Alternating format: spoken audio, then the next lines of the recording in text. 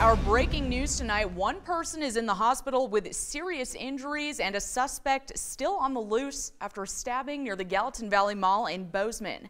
MTN's Cody Boyer is live with the latest. Cody. Good evening, Caitlin. Now, just as about 15 minutes ago, police here, Bozeman City Police, cleared the yellow tape from around the parking lot and from the driveway near the Petco here in the parking lot of the Gallatin Valley Mall. But a, the call came originally around 6 o'clock earlier this evening for reports of a fight near the mall. Now, according to Bozeman City Police, again, a male suspect stabbed another man. We can now confirm the victim was a man as well near the Petco parking lot and ran into the mall where police searched for him with armed officers and a canine unit for upwards to four, or uh, rather two hours. That's two hours in correction. Now, the victim in the stabbing was taken to the hospital with what was told were serious injuries, and police do believe this to be an isolated incident at this time. Right now, police, they just finished up combing the area of grass near the parking lot where, where what they said was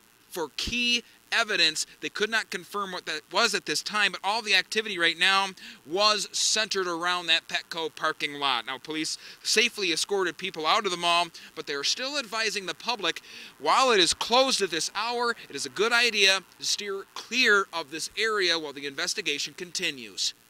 We would ask that the general public stay away from the mall for the evening uh, if, if they don't have some type of an emergency to come down here.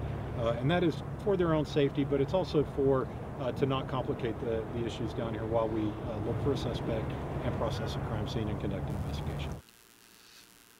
Now, as of a few minutes ago as well, I did confirm that they have not caught a suspect yet. They're following several leads at this time, but the danger to the public, there isn't any anymore. They were able to confirm that there is no further safe, uh, safe, safety concerns for the public. And the marketing director was, they did escort us off the property. They said they were not going to give comment tonight, but they did say they could comment tomorrow.